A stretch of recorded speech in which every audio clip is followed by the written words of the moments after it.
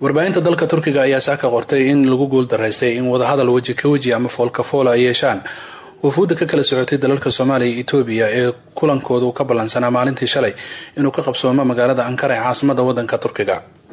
Wararku waxa ay sheegayaan in wafuudda labada dhinac uu u kala dabqaadayay wasiirka arrimaha dibadda ee dalkaasi turkiga hakaan fidaan oo min laba jeer la kulmay labada dhinac dowladda soomaaliya wafdiga ka socda ayay wararku sheegayaan inay ku adkaysteen in shirkan aysan ka qaybgalaynin ama aysan hor fadhiisanaynin etoobiyaanka ilaa dowladda etoobiya ay caddeyso inay ka laabatay heshiiskiisa afgaradka ahaa ee u dhexeeyey ama ay la galeen somalilan bilowgii sanadkan taas oo dowladda etoobiyana iyadana wafuuddooda ay ka gows adeegeen ila dhinaca diblomaasiyadda ayaa warbaahinta u sheegay in wufuudda soomaalida ay u sheegeen wasiirka arrimaha dibadda ee dalkaasi turkiga in dowladda etoobiya marka hore ay caddeyso ama ay ku dhawaaqdo inay ka laabatay heshiiska safgaradka ahaa ee dhinaca badda.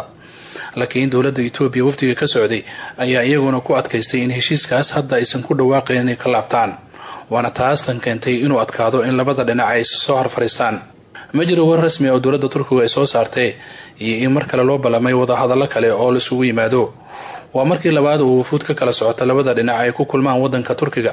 Dowladda soomaaliyana waxay hore u sheegtay in etoobiya ay codsatay in turkiga uu wadahadal siiyo wiilkaygiiow hee ii soo tiri isbitaallada magaalada ku yaalla soomaali sudaneys. Kow. Bes.